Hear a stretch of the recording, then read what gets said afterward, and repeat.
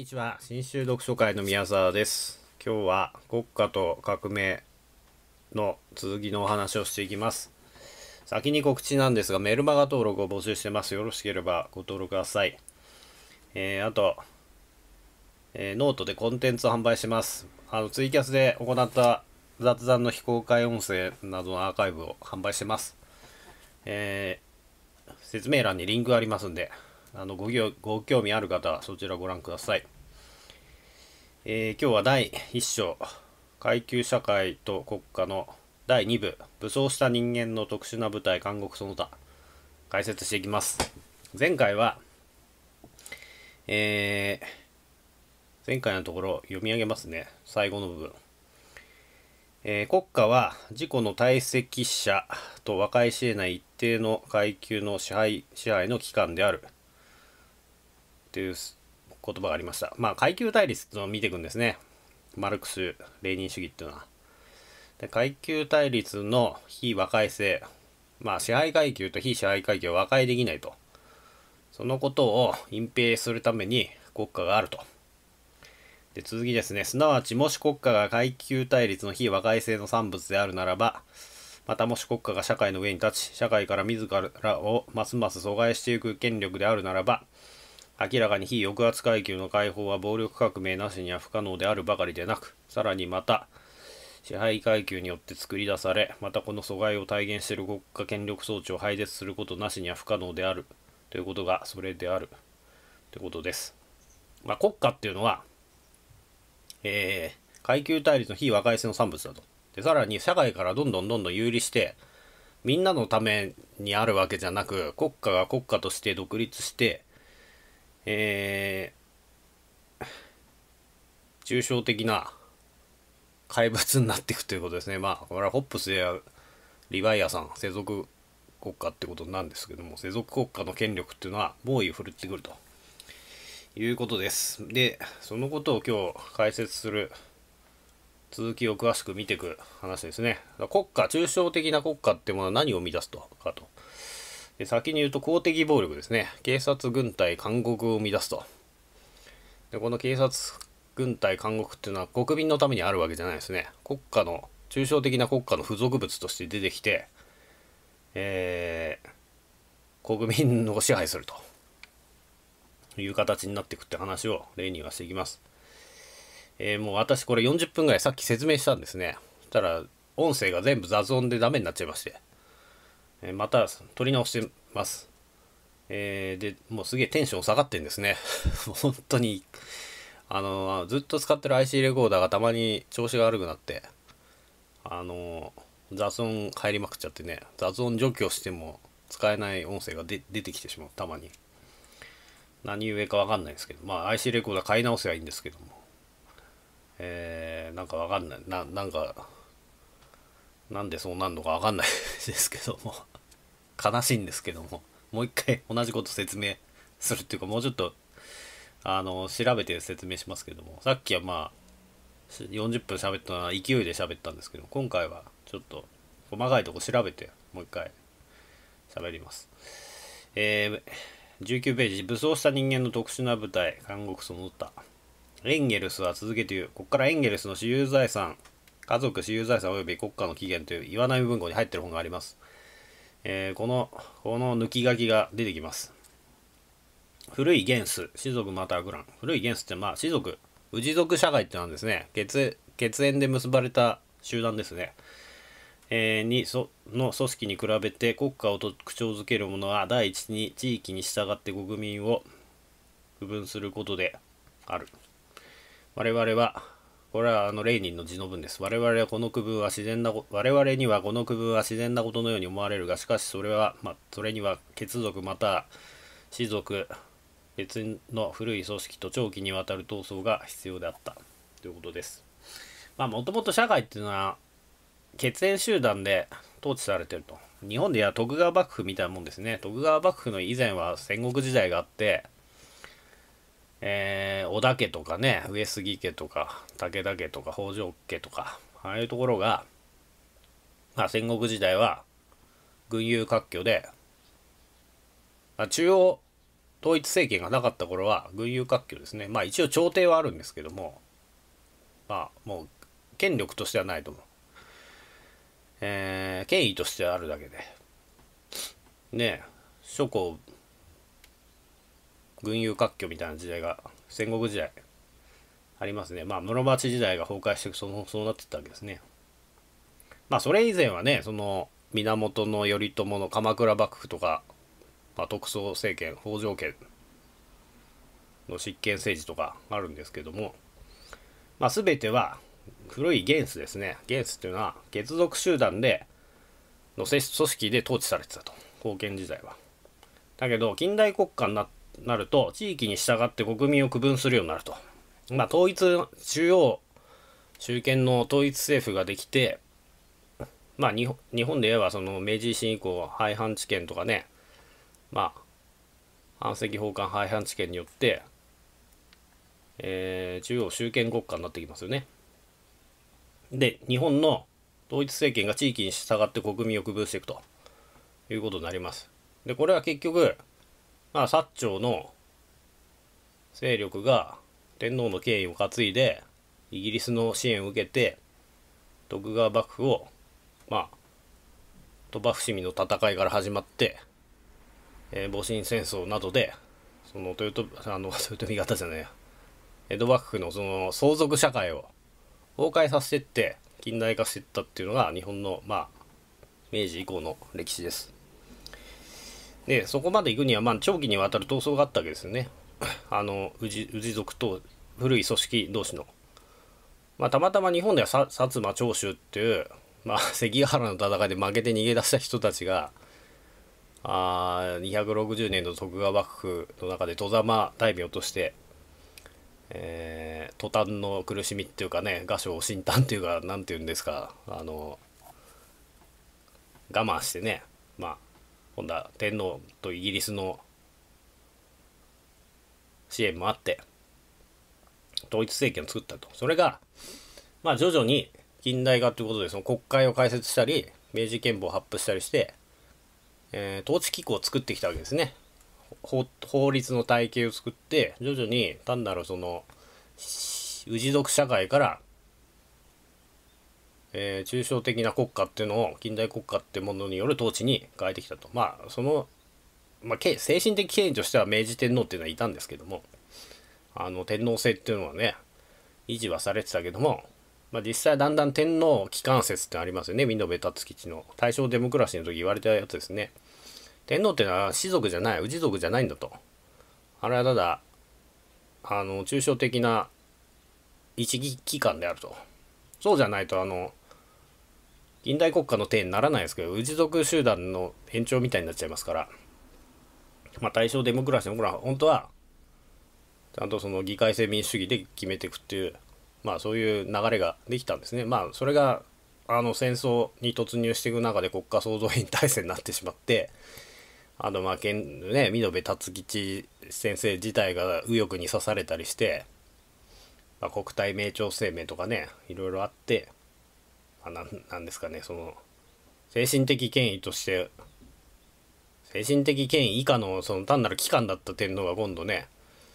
また荒人神として戦争体制の中で祭り上げられていくということが、まあ、起こってしまったというのは日本の歴史です。で、まあ、ポツダム宣言受諾して天皇体験から国民主権に変わったと。でそれで今の現行憲法、えー、国民主権ってことが謳われて、まあ、議会制民主主義で70年、70何年やってるってことですね。75年、75年というか73年ぐらいかやってるってことですね。で、続きです。ここも、あの、家族、私有財産及び国家の起源。第2の特徴は、自己自身を武装、武装力として組織する住民とは以外や直接、もはや直接には一致しない公的暴力の創設である。近代国家っていうのは軍隊とか警察とか監獄を作るんですね。で、封建社会の氏族集団だったら、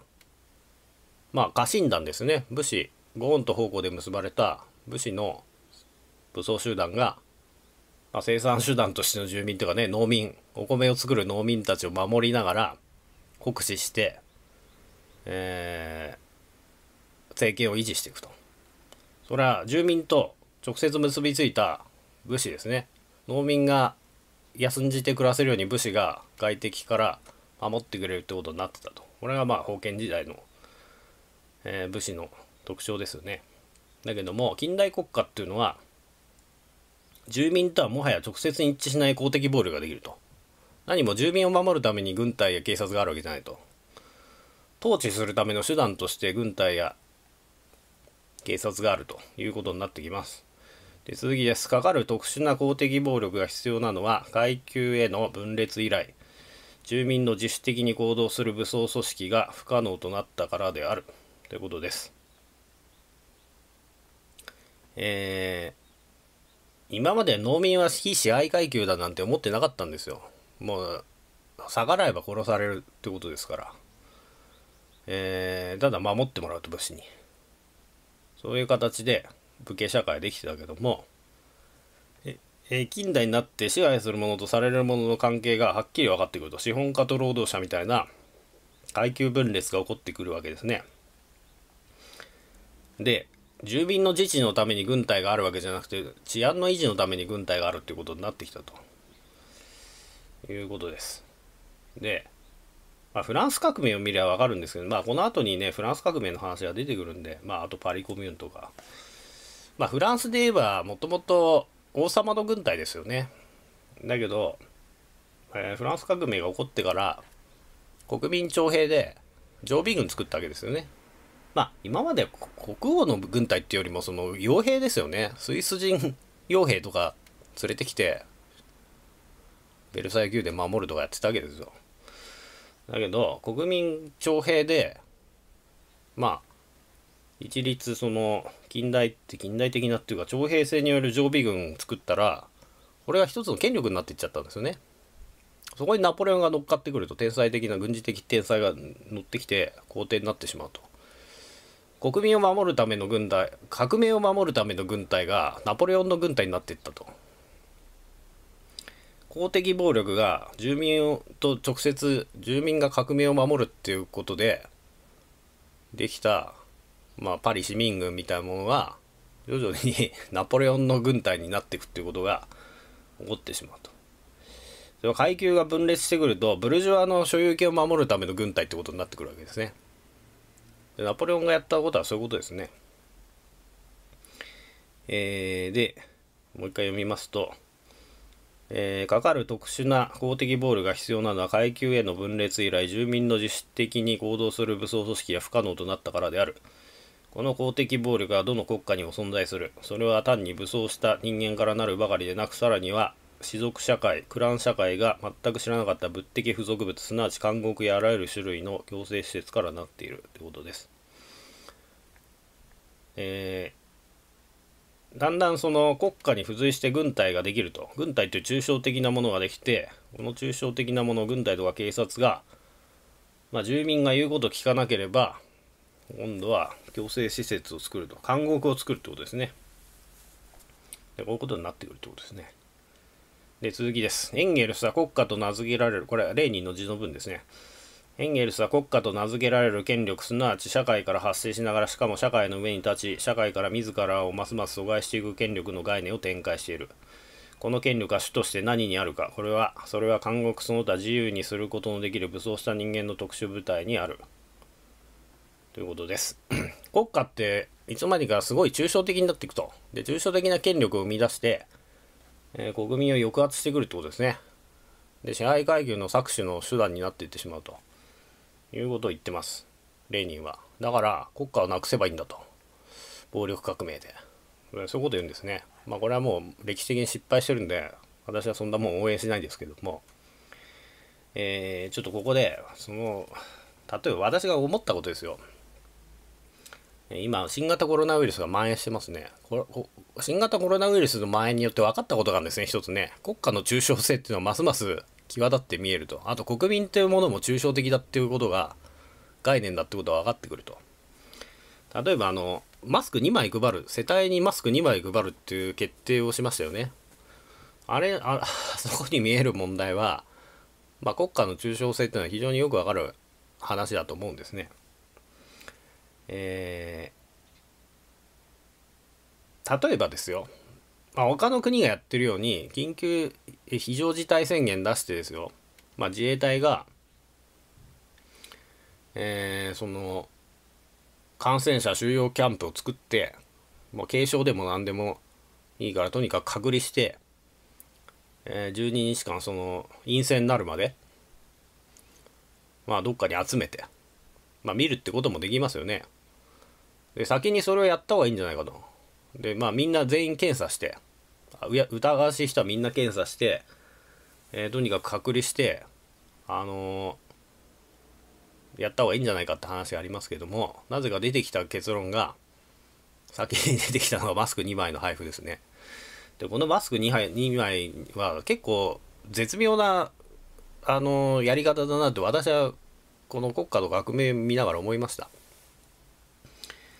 あのマスク2枚は何の意味があるのかとまあ、おそらく意味ないんですよ。伊勢神宮のお札とかとあんまり変わらないと。お守りで持っててくれぐらいの感じで、まあ、ネット上でも出てましたけど、ミルクボーイのネタじゃないですけど、どうも、ミルクボーイですってね、ああ、ありがとうございます。今、マスクを2枚いただきました。えー、こんなんいくらあってもいいですねっていうのと同じだって なんかネットで出てたんですけどもあれマスク2枚であろうがですよ飛び箱の6段目であろうが新しい網戸であろうが、ねるねるねるね2番の粉であろうが、こんなんいくらあってもいいですねっていう人たちが、まあ一定数半分ぐらいいるってことですよね。国民の半分ぐらいが、マスク2枚で、なんとなく納得してしまうっていうことを知ってて配ってるってことですよ。で、統治の手段として2枚のマスクで、納得するやつがいるんだと。まあマスコミとかネットではわーわー騒いでる人たちはいるけども、何の意味もないって。だけど支配してる側はあの2枚が何もやらないよりマシで、えー、なおかつその強制的な手段を取るための段階としてまあ捨て石っていうか布石として意味を持つってことを私は考えてんじゃないかなと思うんですね考え 考えてないかもしれないですけども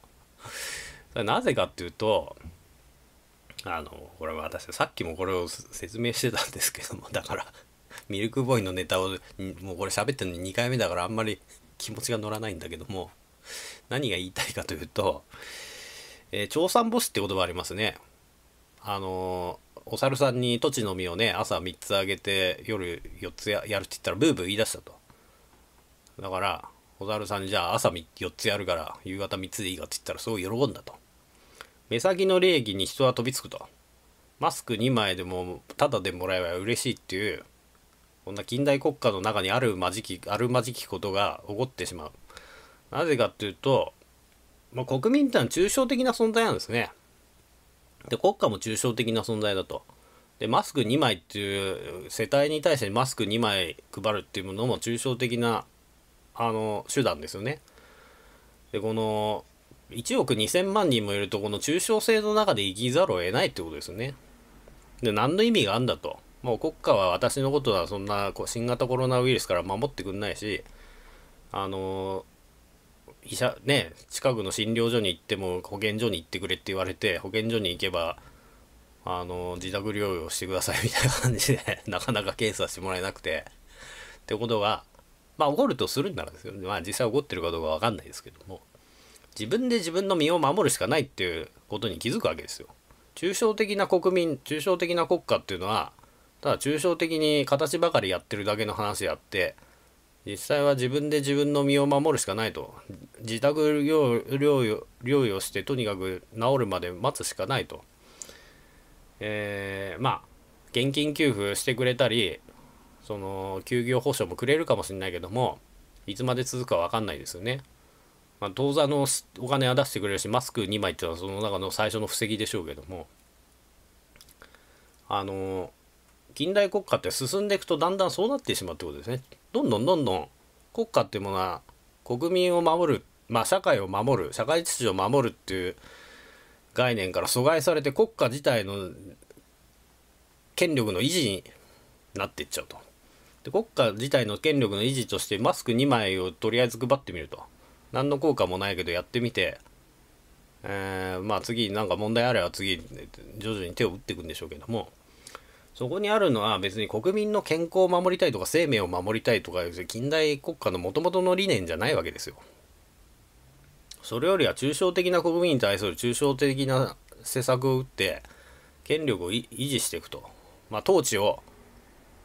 維持していくと。これだけは自己目的化してくるっていうことになってしまう。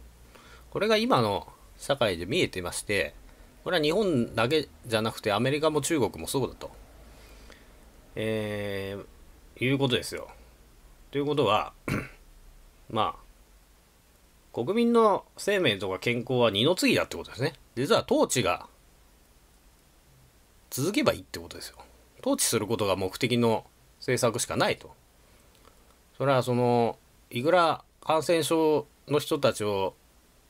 あの収容するキャンプができても現金をまこうっていうのもマスクを2枚巻くのもそれは統治を維持するための手段であってその抽象性の中に生きてるってことですね。これは非常に難しい話なんですけども。えじゃあこんなんやらせじゃんってなんかプロレスみたいなもんじゃんってなんかそのあのこのマスクに伊勢神宮のお札のとどれぐらいお守りとかとどんぐらい内容が違うんだと。気休め程度のもんだってことですよ。だけども気休めで統治が伸びるんだったら気休めをやるってことですよ。で本当の解決なんて別にできっこないわけですね。できっこないっていうかできっこないように見えちゃうんですよ。できっこないって言い切っちゃいけないんですけどもレーニンが言うにはですよ。国家っていうのは、常にその抽象的な国民まあ半分国民の半分ぐらい騙せばなんとか統治を続けることはガバナンスできてんだから。だったらいくらでも調査母子でやってくるってことですね。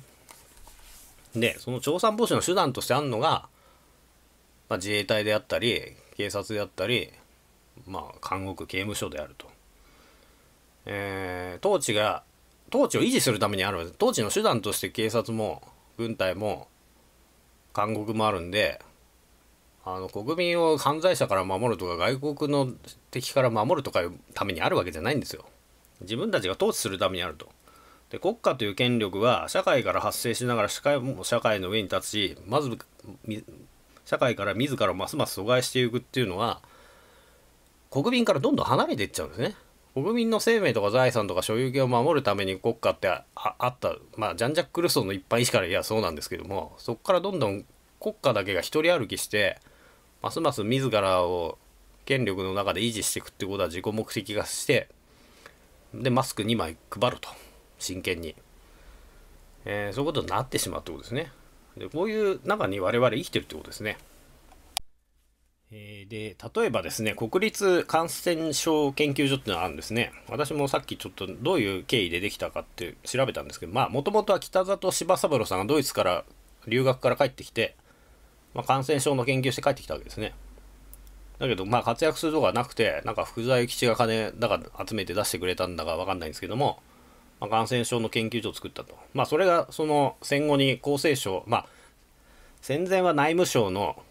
組織だなったんですね。途中から。内務省が予算つけてで戦後は厚生労働省ですね今の。の管轄になってると。で感染症を研究してんですけども元は国民の生命と健康を感染症から守るって目的だったんでしょうよ。だけど今の国立感染症研究所っていうのは、まあ、コロナウイルスの対策とか見てても分かるんですけども何もまあ国民の健康とか生命が第一なのかっていうのはちょっと強いメッセージとしては見えないと。検査も全部やる必要ないっていう態度でやってるんですね。あれはまあ統治の手段としてあると。まああの自衛隊とかと検察とかと一緒ですよね。統治の一手段としてあると。まあとりわけ自衛隊はですよまああの憲法上も明記されてなくて改元して明記するっていう話になってますけどももともとはその朝鮮戦争のアメリカの広報部隊としてね警察予備隊って形でできて自衛隊になったわけですよね。でまあいまだに朝鮮戦争が停戦状態にあるから自衛隊ってあるわけですよね。でそういう歴史的な経緯があるわけですよ。ででもそれが自らを阻害していくと自衛隊ってあたかも必要であるかのような話になってきて最初は朝鮮戦争のがまだ終わらないからそれは朝鮮戦争が終わって平和条約がね南北で結ばれるら自衛隊も解散でいいじゃねえかって話なんですけどももうそういう経緯が忘れ去られてきてですよ。あのもうこのまま国防自衛権行使するために自衛隊が必要だと。一旦解散して自分たちの自衛権どうするんだと。言って国民投票するなら私は筋が通るというような気がするんですけどもあのもう当初の目的とどんどん変わってくると社会から自らますますを阻害して権力が自己目的化してくると自衛隊が必要だと国立感染症研究所はあ独自の目的があると、えー、ということになります。で、まあ、軍隊とか警察とか監獄とかあるいは病院一部の病院施設っていうのは当初国民を守るためにあったにもかかわらずだんだん抽象的などんどんどんどん国家に付随した物的付属物になりまして目的が変わってくるんですよ統治の手段としての施設組織になっていくとこういうことがまあ今見てると分かるわけですねなんかどう考えても今国家のどの組織も国民のために動いてくれてんのかと国民の生命財産健康のために動いてくれてるっていうメッセージがあまりにも希薄であって組織の維持の自己目的かと。責任は取らず自分たちのやりたい施策をやっていくっていうか責任は取らないってまあ責無責任だってそういうことですね。なんで無責任なのかっていうとまあ例えばダイヤモンド・プリンセス号の問題だって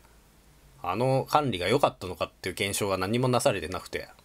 まあ専門者会議っていうのもあるんでしょうけど何もやってないって言われてますよね。だけども専門者会議自体が自己目的化してると それを維持するしてそれは現政権がそれを専門者会議を統治の手段として使ってまあ使ってそこから出てくるのはマスク2枚とかいう話になってて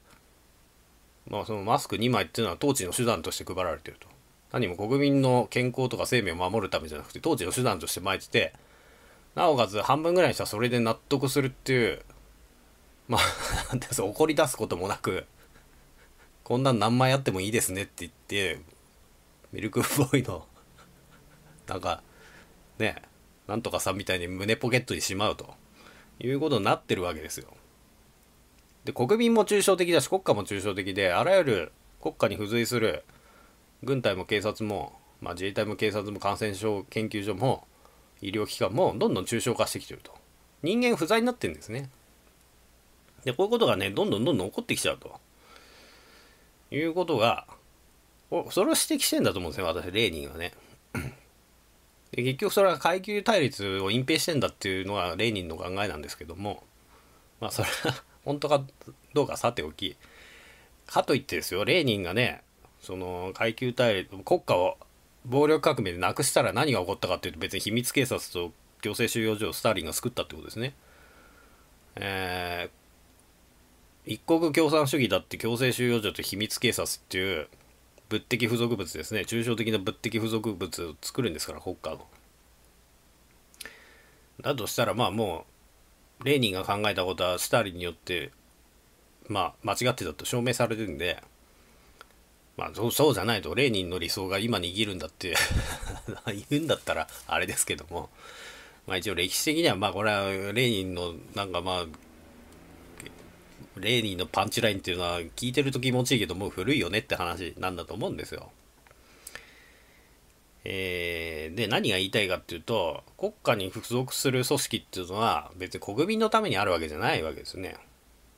国民のため以上の抽象的な何か自己目的化した何かになってしまうってことですね。そういう宿命にあると。そのことを説いてるんですね。で続きです。我々は武装した人間の特殊な部隊について語る当然の権利を持つ。なぜならあらゆる国家に特有な公的暴力が武装した住民や彼らの自主的な自主的に行動する武装組織とは直接には一致しないものだからである。ってことです。まあ、自衛隊も警察もですよ本当に住民のに直接に一致するもんじゃないんですよ国家の統治の手段であって本当に国民を犯罪者から守るとかあの外国の敵から守るとかいうためにあるのかって問題があると。ととりわけ今新型コロナウイルスの問題で、まあ、例えばその日本の医療機関さまざまな医療機関とかねお医者さんの集まりとか本当に国民の健康とか生命の第一に考えてるかっていうとそうじゃないだ。自分たちの組織を守ることの方がまあ医療崩壊ってまさしくそうですね。あの医療崩壊させないように国家がどんどん手こ入れしてまあそれは国民の支持を得てやってきゃいいんでしょうけどもまあ国民の生命と財産守るんだったら地方からどんどんお医者さんねボランティアでやってきてるですよ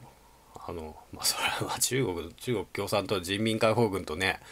それに付随するなんか病院の看護師とか医者がみんな部下に集まってねやるみたいなまあ誰はまああれで全体主義的であの今の日本で同意を得られるのかどうか分かんないですけども本当に国民の健康と生命が第一だっていうなら自主的に職業倫理にのっとってお医者さんや看護師さんが全国から集まってきてまあ少なくとも都市部の医療崩壊を防ぐっていう方向になった方がいいでしょうけどもでもどうやらマスク2枚を配るってとこで あのある程度何が事態が動くんであればまだそこまで至ってないと。まあ今後ねそのもっと事態が悪化すればそういうことも起こるかもしれないですけどもまあいつだってまあ原発の時もそうですよね。元東電の職員が自分たちがあの人柱となって原発ねあのメルトダウンを防ぎに行くんだとか言ってた方々もいましたけども、まあ、実際そこまでになんなかったですね。そその前に事態が収束収束したってことになってるんですけども。ということはですよ。実は国民の生命とか財産とか健康とかよりも、まあ、今現状の統治が維持されるってことがあの近代国家としては重要になっちゃうってことですね。そのぐらい抽象的になると。それに合わせて国民の方も非常にマスク2枚でなんか納得いかねえけどまあ納得するかみたいな感じになってしまう国民の方も抽象性で生きてると。で、封建主義であったらもうそんなもん守ってくれないお上にまあそんな農民たちは逃げてっちゃうとかね他の領土にね話になりますよね。調査していくと。あるいはそう一気を起こすとかね直接行動に出るっていう感じになるのに今まあもうそうならないくなってると。ならないだけの統治の技術が発展してるってのもありますけどもえー、国家に特有な公的暴力っていうのはもう全然国民と関係ない。それ自体が目的化してると。まあ権力自体が目的化してるっていうのもありますけども統治自体が目的化して国民の権利を守るためにはあるわけじゃないということがだんだんそういう方向にだんだんなっちゃうんですよってことをレーニーは言ってるってことですね。えー、ということです。えー、今日はここまでです。えー、最後まで聞いていただいてありがとうございました。以上です。